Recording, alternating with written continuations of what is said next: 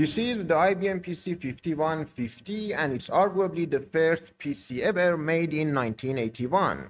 If you open this case up and look inside it, we see mainly three boards. This one is the motherboard or the system board or the main board and as the name suggests, it is the most important part of the computer. The processor, 64 kilobytes of RAM and 48 kilobytes of RAM and a lot of other important chips reside on this board. The next one, which is known as the IBM monochrome display card, is again arguably the first graphic card which would act as an interface between the processor and the monitor. And next board is the floppy disk controller which would act as an interface between the processor and the floppies.